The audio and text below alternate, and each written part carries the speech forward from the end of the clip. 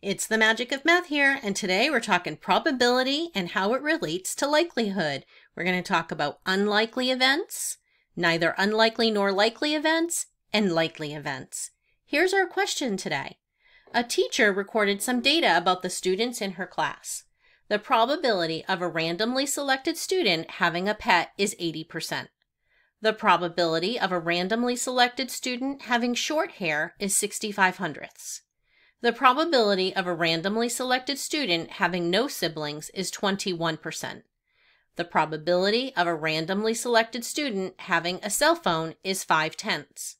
A student from the class is selected at random. Determine the likelihood of each statement about the student.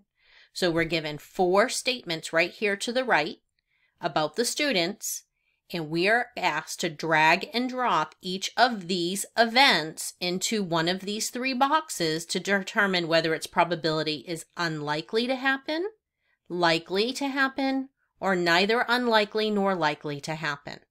Here's where you're going to pause the video and determine where each of these four events would fall in one of these categories. Record your answers and then come back to hit play to see the solution. Good luck! Welcome back. Again, let's review that we're going to drag and drop each of these four events into one of these three categories. To begin, let's make sure we understand unlikely, likely, and neither unlikely nor likely as a probability or a percent. When we talk about something being unlikely, we know that it's going to be approximately 25%, give or take.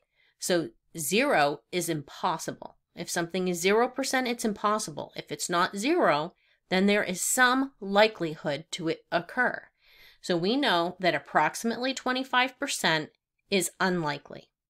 When we move to considering something likely, we're going to refer to that as approximately 75%, give or take. So 100% is certain that it would happen. Anything other than that is going to fall in one of these categories. And then when we talk about neither unlikely nor likely, that's when it's really 50% or really close to 50%. So you have a 50 50 chance of it happening. So it doesn't fall into likely or unlikely, it's 50 50. All right, we're ready now to go back to our four statements that were given to us. So let's consider the first one. The probability of a randomly student having a pet is 80%. So here, when we talk about a student has a pet, and that's 80%, we need to drag and drop this to one of these categories. Well, 80% is the closest to 75%. So we're going to move that the student has a pet to being a likely outcome. Now let's consider the next one. The probability of a randomly selected student having short hair is 65 hundredths. When we take 65 hundredths and change it from a decimal to a percent, that is going to be 65%. So a student has short hair has a 65% chance of occurring in this class. When we consider 65%, it's the closest to 75%. So we're going to move student has a short hair to a likely occurrence. Now let's talk about the randomly selected student having no siblings is 21%. So now we know that this one is 21% and 21% is closest to this approximately 25%. So we're going to move student has no sibling to being an unlikely occurrence.